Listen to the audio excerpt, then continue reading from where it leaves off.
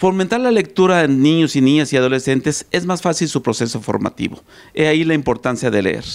Yermen Ramos, coordinadora de la Biblioteca San Martín, nos da algunos beneficios de la lectura.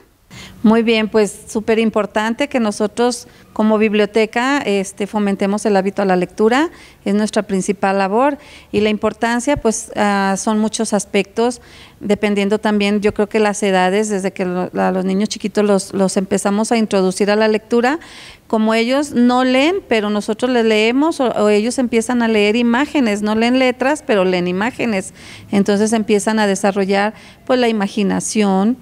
eh, poco a poco van este, conociendo las letras y como vamos avanzando en la lectura, pues vamos teniendo mejor dicción, eh, corregimos ortografía, tenemos un pensamiento crítico más amplio, eh, pues desarrollamos la memoria, la imaginación y muchos aspectos que, que nos favorece siempre el tener una lectura.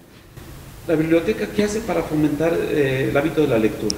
Bueno, lo principal es el préstamo de libros, como lo tenemos de manera interna o también solicitando su credencial y de manera externa se pueden llevar los, libros. Eso es lo más básico pero también durante todo el año hacemos diferentes actividades que van enfocadas a la lectura, a promover los libros que tenemos dentro de la biblioteca, que muchas veces no los conocen o dicen que son anticuados, pero son novelas o libros de eh, muy, muy recreativos y muy interesantes. Este hacemos pues talleres de verano que terminamos apenas hace una semana tenemos eh, actividades de hora del cuento, tenemos círculos de lectura, está un pequeño taller de escritura de cuento también. Ah, estamos implementando aún, aunque no es con libros, pero sí es importante también eh, el taller de ajedrez, este que pues ayuda también a los jóvenes, a los niños y a los adultos a tener una mayor concentración, este